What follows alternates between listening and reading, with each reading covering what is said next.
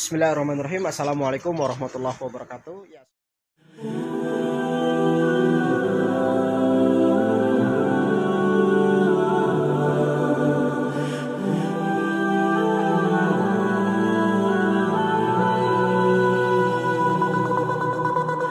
Sobat Miftah, jumpa lagi dengan saya Miftah di channel Miftah Rahman. Nah, teman-teman, eh, saya sekarang lagi ada di farmnya Mas Yadi ya. Mungkin teman-teman yang dulu pernah lihat, saya pernah eh, kunjungan ke farmnya Mas Yadi. Waktu itu kan dia jualnya itu gapi, teman-teman. Ternaknya gapi. Nah, sekarang kayaknya beralih nih, teman-teman. Sekarang dia mainnya Classivoporus. Ya, ini di belakang kita ini ada kolam Swordtail Kohaku. Ya, Ini lagi dikasih makan, teman-teman. Kita lihat aja yuk. Tuh ya teman-teman bisa dilihat. Ini dicampur sama apa ini? Koki ya?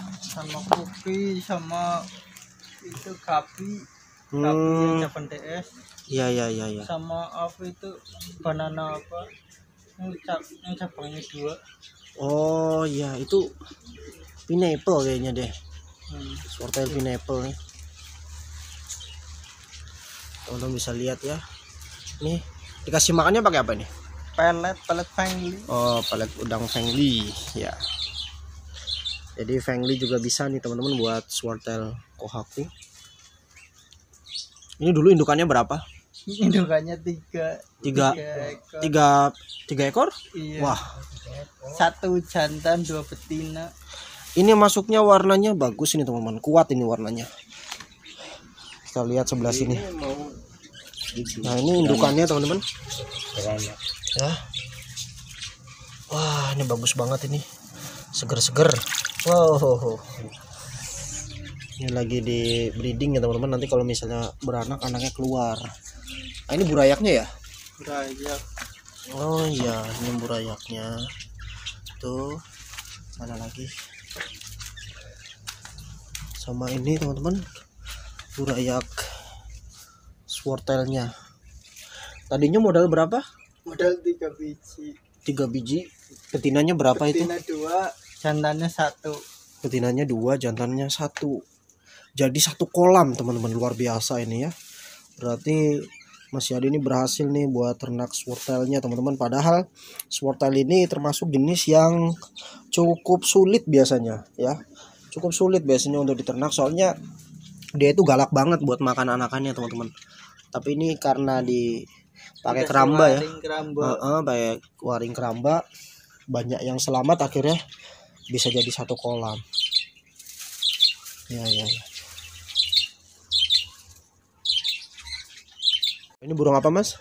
Belum parkir parkit ya? Ini breeding juga apa? Breeding. Hmm, tapi ini sih lagi mahal pakannya sekarang. Itu induknya satu pasang ini cuma oh iya iya. jadi banyak banget. Dijualin juga. Harga jualnya nyampe berapa kalau burung parkit kayak gini? Tergantung sih. Kalau anak kan yang kayak gini. nih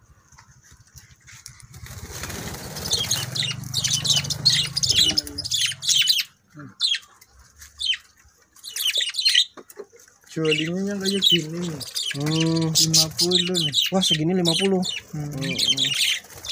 40 tergantung sih. Kalau yang udah dewasa gini?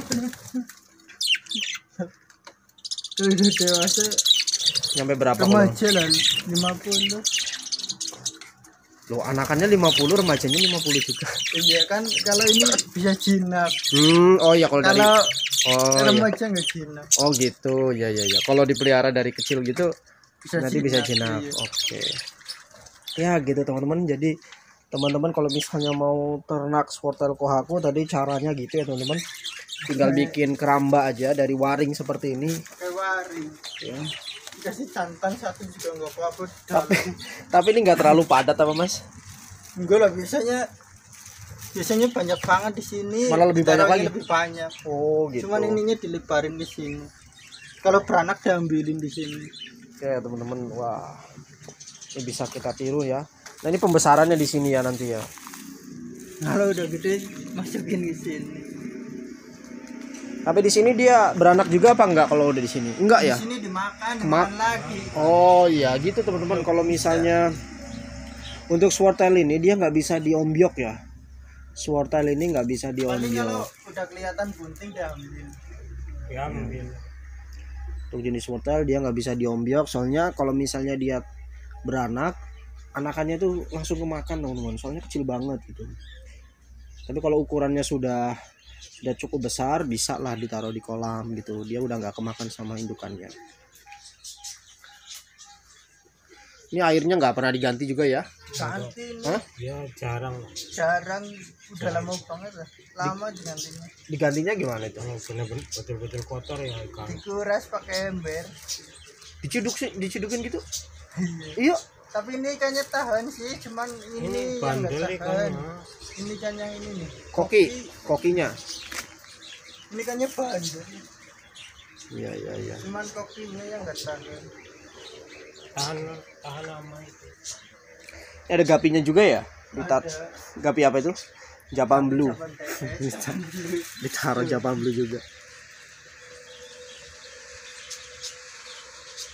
Eh, dimakanin sama itu loh. Hah? Nggak dimakanin sama ini loh. Emang lebih gede gap, lebih gede gapi burayaknya dibandingkan dengan swartel. Kalau swartel itu anakannya bener-bener nggak gesit itu loh. Tuh. Anakannya itu nggak gesit jadi gampang kemakan.